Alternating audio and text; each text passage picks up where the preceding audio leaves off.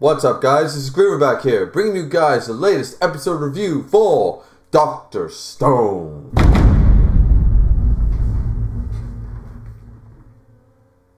Now, I say latest, but I know I am one episode behind. I'm sorry about that, guys. Just stuff been happening and everything, but we are back on schedule. The episode 8 review, this is of course the episode 7 review, which is very late. Episode 8, I did watch it. I will be making that review uh, in the next day or so, and that video will be out in the next couple of days. So I'm sorry about that. We will be back on schedule for episode 9. Might even be a little early for episode 9, in all honesty, because I've been getting the links a little earlier uh, than I was initially getting them and not watching them until Sunday. So Anyways, that being said, so episode 7, right?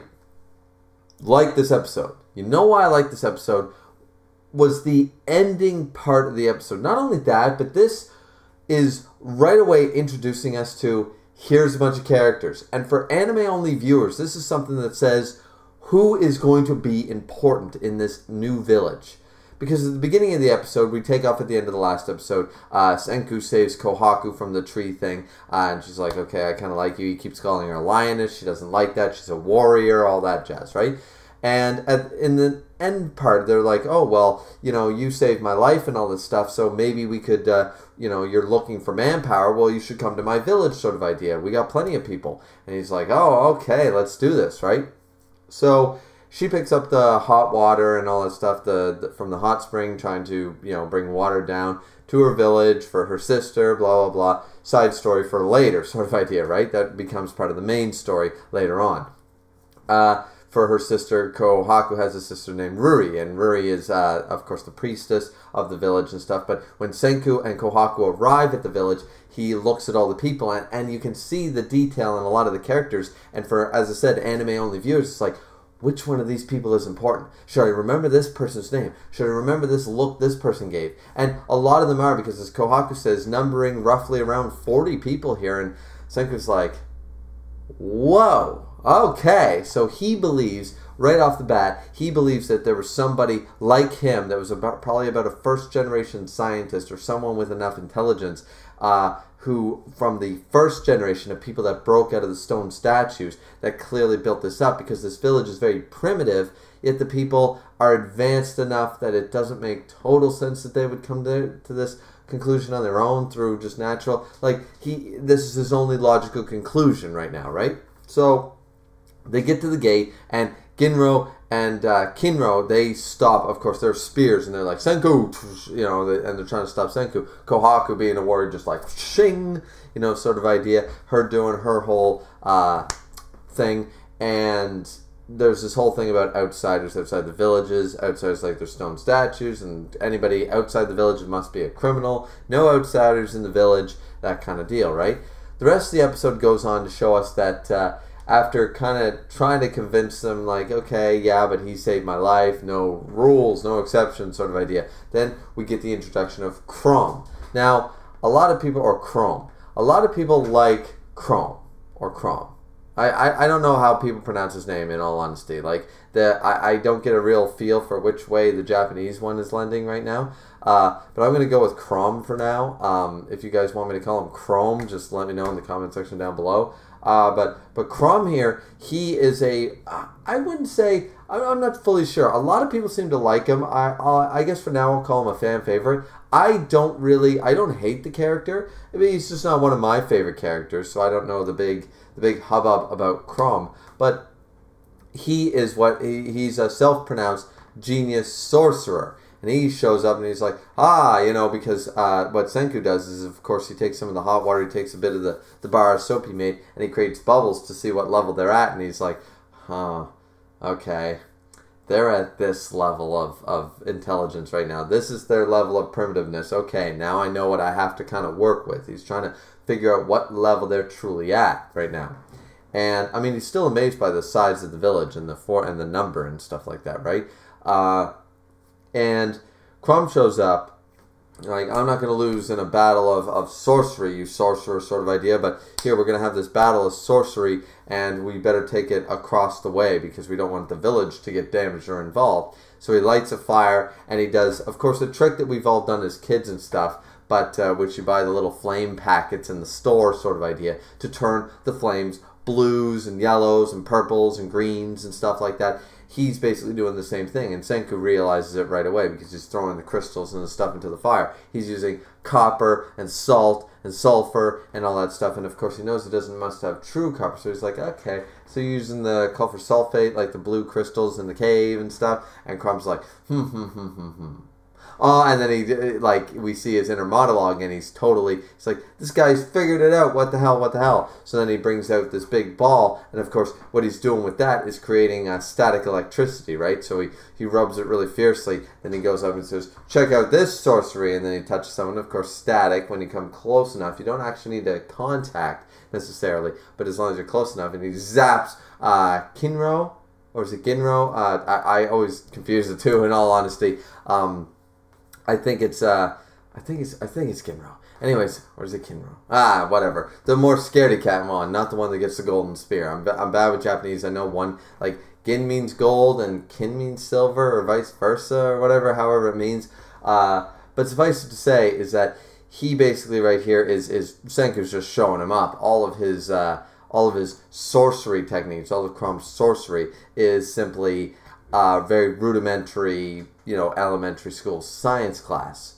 However, as Senku recognizes here, he goes, "Did you do this all yourself?" Sort of idea, like you've you've had no knowledge of this stuff yet you've figured this out through trial and error like a true scientist. He recognizes what Crom has been doing, and Crom tells him after he discovers the storehouse and stuff, and he loses loses to him with uh, arithmetics and all that stuff he eventually uh, he wins the the hut and Crom services for the kingdom of science. And when he goes in there, he realizes that the whole collecting stuff, right? And the whole trial and error, like trying new things, breaking things together, figuring everything out, that is what makes a scientist. Scientists don't get deterred because, oh, well, I smashed this rock and this rock together. They made something, but uh, I mean, whatever. No, no, no. They're like, okay, well, what else? Which rock was it that made this X, and what else can I smash against this to make another to make Y? You know, that is it's all trial and error. That's what science is all about. And he recognizes that rudimentary uh, curiosity and that and that mindset in Crom, and he says Tsukasa will come to kill you one billion percent, ten billion percent, right? There's no doubt in my mind. You're you are the type of person that Tsukasa wants nothing to do with. So he takes over the hut for the Kingdom of Science. They realize they have all these rocks and all this stuff, and he's looking through. He's like, "Oh, you collected this, you collected that, you collected the other thing," and he's he's really excited about all this, right? So Senku and Crom are kind of excited. Uh, we get a little bit of a small side story where he tries to uh, like win over. I think it's Ginro. Once again, I'll, I'll get it better next time, guys. But I always confuse them. So Ginro, uh, I believe, is the one who gets the golden spear, the more serious one. There's rules, rules, rules. So he dips his stuff. He's like, what practicality does it have? None. But it's golden because her name is Gin with Ginro, so or whatever. So he looks at it. He's like, hmm. He's like, you think he'll win me over with this? Then he looks up and he thinks about like, oh yeah, he looks like Tsukasa with like a lion's cape on him with this golden spear and shield. And he's like, well, it's not bad. And he walks away with it, so he's like, ah, it's starting to break him down a little bit. Then we get a little bit with uh, Kohaku and her sister Ruri, uh, where she's the high priestess or the priestess of the village. She's talking to her a little bit, and it's nothing. It's nothing too major we need to worry about right now. The final part is Crom and Senku having a serious conversation in the dead of night, sort of idea. They're having this fire, and Senku is basically explaining, "He's like, Crom, I guess I'm just going to tell you." Here's how this all happened. Here's humanity. This stone world happened. And he explains all the history of the world. He explains humanity. He explains the evolution, the civilizations that existed before, the technology, the advancements. Then he explains the petrification and the 3,700 years that have passed and to where they are currently. And Senku might have told him a little bit about his journey. We don't really see that here in this episode, but I'm sure he and here I am sort of idea.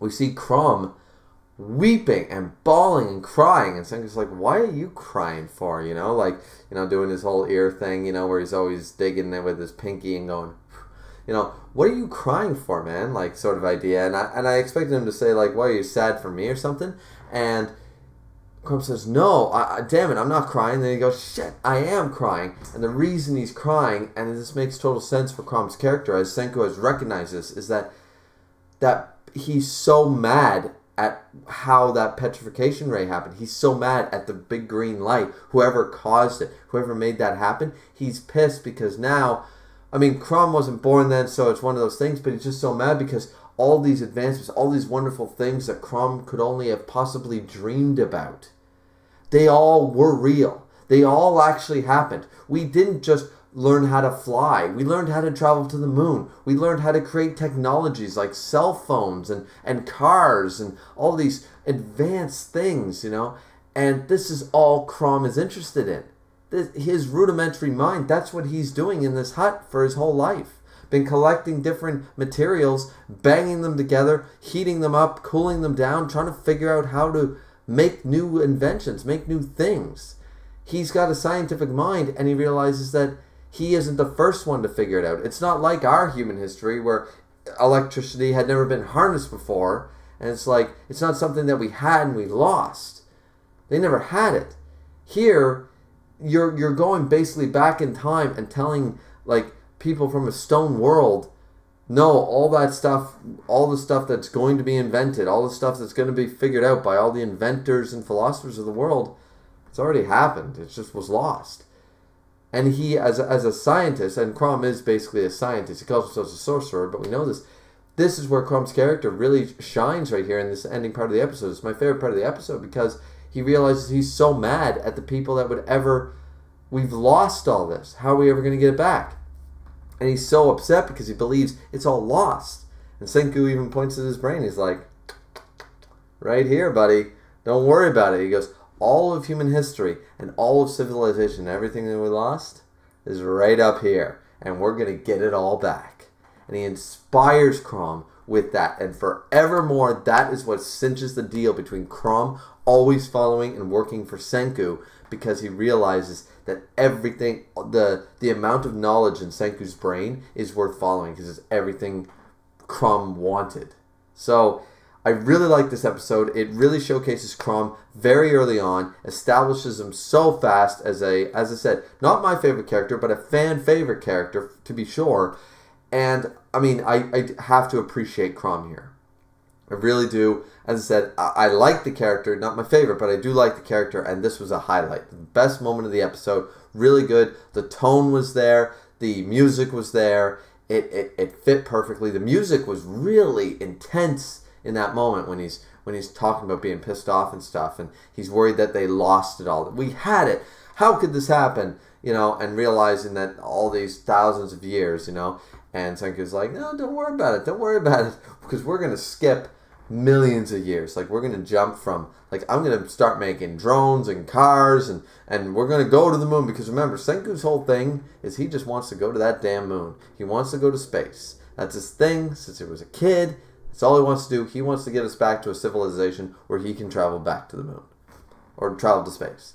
That's what he wants to get back to. He wants to get us back to where we are right now in the reality. So good on you, Senku. Good on you, Crom. This is really interesting. I like Kohaku. I like uh, Ginro and Kinro. I, I like all these characters. We see a little bit of uh, Kaseki here in this uh, in this episode, along with a couple other characters. So, I mean, uh, they're all going to be very relevant, and people are going to have their own fan favorites. But uh, tell me what you guys thought of the episode. Sorry for the lateness of it once again. What did you think of the uh, episode? What did you think of the review? Did you love it? Did you hate it? Please like, subscribe, comment. As always, it's always very much appreciated. This has been Griever with your episode review for episode 7 of Dr. Stone. We'll see you back here next time, guys. As I said, in probably in a couple of days for the episode 8 review. Then we'll be back on schedule for episode 9 of Dr. Stone. Have a good day, guys. We'll see you next time. Peace.